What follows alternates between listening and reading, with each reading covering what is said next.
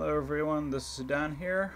Uh, this isn't exactly an epic build here, but you know, I'm just posting something just because I had free time during lunch and so, you know, I was browsing the internet and saw several people doing or several videos with the entire piston monorail designs and I mean I know they're like a year old and you know pretty overdone already by this point, but I just had some free time during lunch and 30 minutes later I had this design, which is quite a bit simpler than what I've seen and works a lot faster.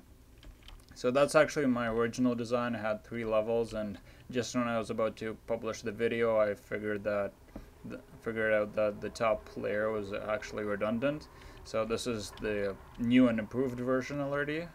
And it works rather simple. You've got the pulse clock here with just two ticks and the comparators.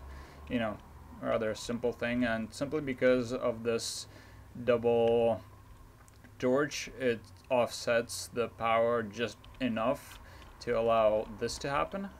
So you set off a piston and you set off another one. And there it goes.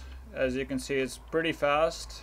You've got all the redstone is pretty simple and compact. It's so yeah that's basically all I have you know. As I said it's not an insanely large build or anything but you know when you've got 30 minutes of time as compared to one month that's what you get so hopefully you guys like it and yeah I'll be seeing if I can get anything else interesting posted, I'll be posting. So keep in touch and have fun. That's basically the reason why we'll all play Minecraft, hopefully. Or, you know, watch videos on YouTube.